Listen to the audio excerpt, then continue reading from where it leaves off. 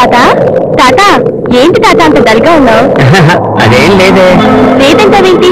మునుపట్ల హుషారుగా ప్రశాంతంగా లేవేంటి? అదే అదేం లేదని చెప్తున్నాగా. సరే గాని నాకు ఒక చిన్న సందేహం. ఏం లేదు ఇక్కడున్న ఈ కుండకి ఒక అంచు ఇరిగిపోయింది కదా. దాన్ని ఎందుకు ఉంచుకోవాలి? నేనే ఒంటరివాణ్ణి. నాకు ఈ కుండలో నీళ్ళు సరిపోవంటావా? అవును నీ తిందరు ఎక్కడా?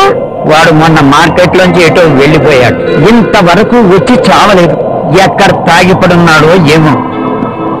అవును నీకెన్నిసార్లు చెప్పాలి ఇక్కడికి రావద్దని? ఎందుకు వచ్చావు మళ్ళీ? Sorry sorry sorry. ఇంకెప్పుడు రాను. సరేనా? నువ్వు గట్టుకొచ్చినప్పుడు మా ఇంటికి తప్పకుండా రావాలి. సరే అంటే రాను. సరే. నీ వల్ల నాకు చిన్న సమస్య వచ్చింది. అదేంటంటే. వీడు నన్ను.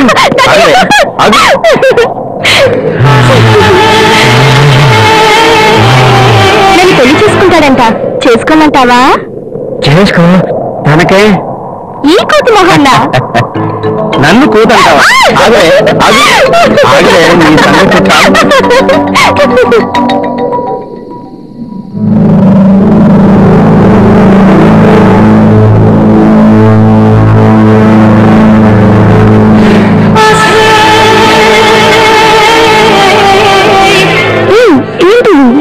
ఏమో నాకే అర్థం కావట్లేదు. నాలో ఏదో తెలియని ప్రళయం ఆచరణలో ఆదేశంలో నిగ్రహంలో నాలో చాలా మార్పు వచ్చింది. దానికి నువ్వే కారణం. నేనా? నేనేం చేశాను? అనగారిన అగ్నిగోళాన్ని తట్టులేచావు తట్టుకోలేకపోతున్నావు దీని పర్యవసానం ఎట్టిపోతుందో హే ఎట్టిపోదు అయినా నువ్వు హీనావు అసలు ఆ అనుభవం ఓ మార్వలస్ నీ దగ్గరికి డబ్బులిచ్చి సుఖం కోసం ఇచ్చే ప్రతి నిగాడు అయ్యేతుంది డబ్బు పాడతారు కానీ సుఖాన్ని పొందలేరు నీ దగ్గర ఆ సుఖాన్ని పొందాలి. అందుకే మళ్ళీ వచ్చాను. అదే నాతోనే ఉండొచ్చుగా? నానా ఇది వ్యాపారం. నా వ్యాపారం నేను మానుకో. నీవు కనుక ఈ వ్యాపారం మానుకుంటే కొన్ని వేల లక్షల మంది అనాథలైపోతారు. మాకు స్టేటస్ కలిగించాలని చాలా మంది వదల్బాలు పలుకుతారు మా సపోర్ట్ లేదే వాళ్ళకి స్టేటస్ రాదు.